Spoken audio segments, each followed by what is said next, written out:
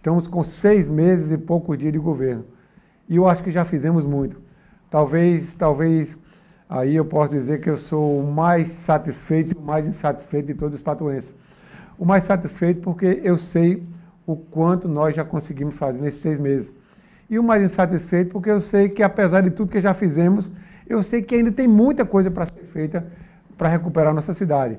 Mas para isso a gente precisa do apoio de todos. A gente precisa que a população esteja do nosso lado. Passou campanha, agora é a cidade, agora a gente tem que pensar no crescimento. Somos prefeitos de todos, estamos trabalhando para todos. Mas as pessoas precisam procurar se vacinar. As pessoas precisam evitar de jogar lixo na rua.